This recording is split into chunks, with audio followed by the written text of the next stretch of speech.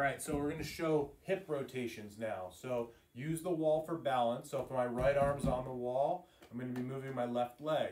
I'm gonna lift my knee up as high as I can. I'm gonna rotate out and come back down. What I don't wanna see is any rotation of your belly button. So your belly should stay straight ahead. So I'm gonna lift as high as I can, as high as I can, as high as I can, as high as I can. I'm gonna hold that position. You should feel your hip and also your hip on this side. And then from there, I'm gonna rotate out as far as I can, as far as I can, as far as I can. And then I'm gonna come down.